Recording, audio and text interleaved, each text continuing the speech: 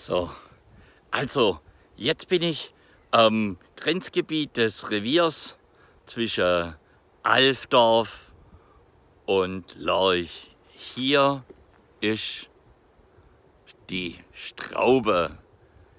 Der Ort Straube, das ist der äußerste Bezirk der Gemeinde Lorch. Und ich grüße Straube, euer Thomas Hornauer und ich bitte um eure Stimme, liebe Straube. Wählt mich, wählt Thomas Hornauer, wählt richtig. Wählst du mich, wählst du dich, denn deine Stimme spricht durch mich für dich.